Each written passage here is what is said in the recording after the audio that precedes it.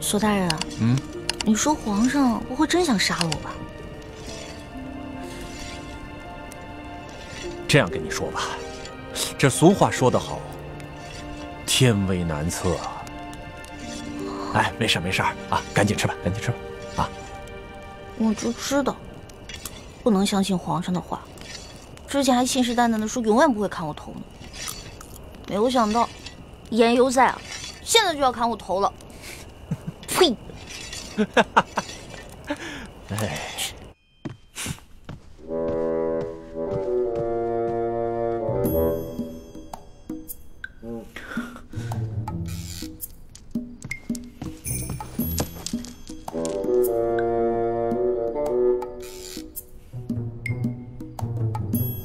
茶，这奴才这就去。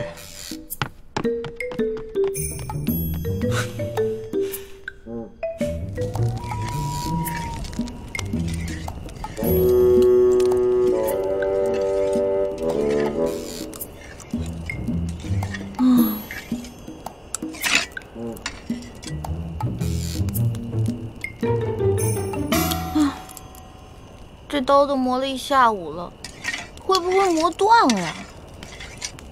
没关系啊，这把刀磨坏，咱们换一把刀，接着磨呀。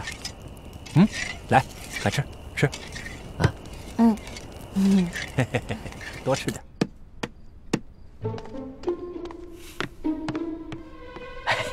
皇上，你消消气儿啊，喝杯茶消消气儿。这谁沏的茶？怎么那么难喝？是奴才的徒弟小德子沏的。你怎么教徒弟的？连个茶都不会沏？皇上息怒，皇上息怒。呃，皇上的茶通常都是侍书姑娘给您沏的，小德子他一时半会儿掌握不好火候，求皇上您饶了他这回。哎呦，哎呦，哎呦，皇上，哎呦，皇上，德福啊，你还知道啊？你还知道朕离不开那个小丫头？那刚才朕要砍他脑袋的时候，你怎么不替他求个情啊？啊！朕在这急得团团转啊！你个老东西，一声都不吭你！哎，你在宫里待了一辈子了，这点眼力劲都没有啊？呃，不不，皇上，我这不是想让您冷静冷静再说吗？那奴才现在求情来得及吗？哎呦，索大人不会现在把宜欢姑娘的头都砍下来了吧？索图要是连这点眼力劲都没有，那朕真是白疼他了。啊，难怪皇上让索大人来执行圣旨呢。你这个老东西，挺机灵。哎，皇上啊，皇上息怒，皇上息怒。现在知道怎么说了吗？哎，知道，知道，知道，知道。还不快去！哎，奴才马上就去，马上就去。哎，皇上息怒啊，皇上息怒。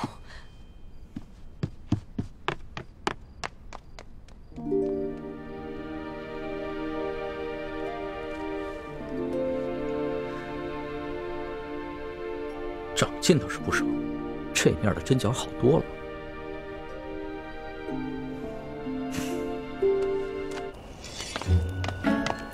索大人，喏，说着说着，人来了。索大人，哎，李公公啊，皇上有旨，把李易欢带回永乐斋。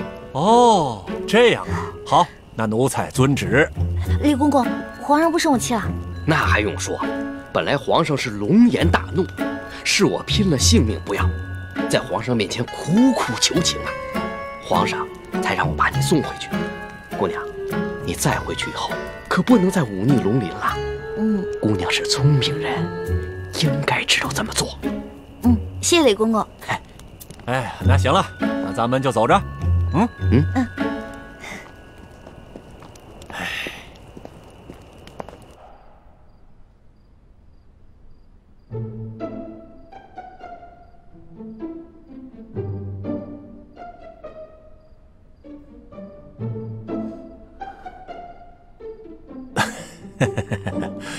皇上，世淑姑娘这一路上都悔恨不已啊，她恨不能要以死谢罪。皇上，我看得出来，世淑姑娘是真的知道自己错了，您就饶了世淑姑娘这一回吧。既然她已经知道错了，那朕就先留下她这颗脑袋。皇上圣明，你们都先下去吧，朕要好好亲自审问他。这，这，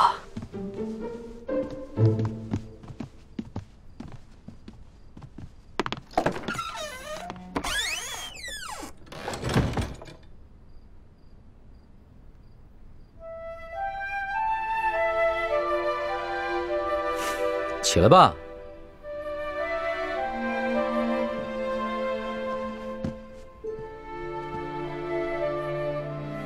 李欢，你可知罪？嗯，奴婢知罪。奴婢擅自矫诏，犯下了滔天大罪。可是那日在御花园，皇上以龙三的身份，跟奴婢一结金兰，还对着月亮发过誓。皇上跟奴婢相差一岁，同月同日不同年生，但愿将来要同年同月同日死。如果今天皇上砍了奴婢的脑袋，难道皇上要陪着奴婢一起去吗？你还敢提那档子事儿？你就是因为这个才无法无天的吧？可是你别忘了，那日在刑场，你可说过要跟朕断绝结拜情谊的。那那次不算，那次是以为奴婢要被砍头了，不能连累皇上跟奴婢同生共死，所以才狠心说要断绝关系。皇上明明都知道，这是奴婢用心良苦，为何现在用这些话来堵奴婢的嘴啊？你少装委屈，刚才一副豪气冲天，要偷一颗要命一条的样子。现在在这装什么怂包呢？奴婢没装怂包，奴婢是真的委屈。皇上金口玉言发下结拜的誓言，难道奴婢说断绝兄弟之情就真的能断绝吗？朕明白了，你就是算准了朕不舍得砍你这颗脑袋，所以就如此胆大妄为是吧？奴婢无依无靠、无权无势的，唯一能赌的，也就是皇上的舍不得。难道奴婢错了吗？皇上真的能舍得吗？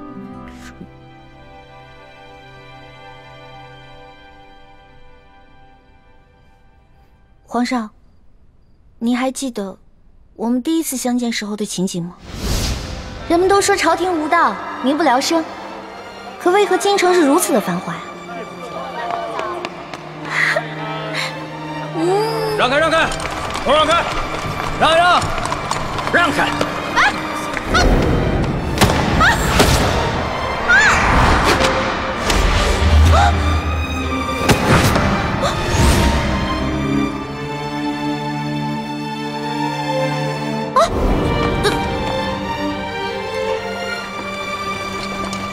们犯了什么罪啊？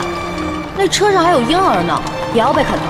他们可是前明的余孽，口口声声要光复大明，这都是特等的大罪，是要诛九族的。当今皇上这么残暴，诛九族，怪不得这些人要光复大明。哎，你们说那暴君是不是长得青面獠牙，极其恐怖啊？那个时候，奴婢万万没有想到。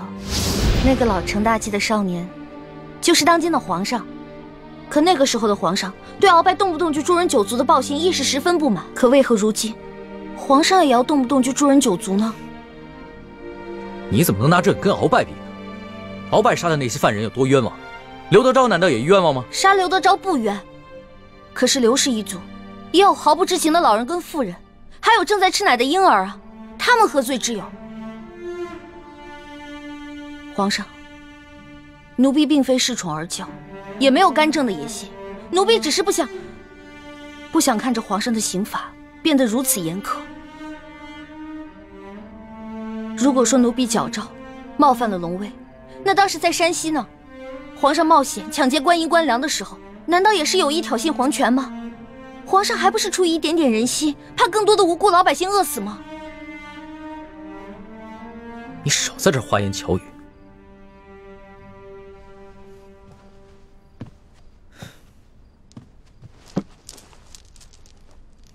朕今日虽然不杀你，但是必须要罚你，要不然指不定日后你还会闯下什么了不得的大祸。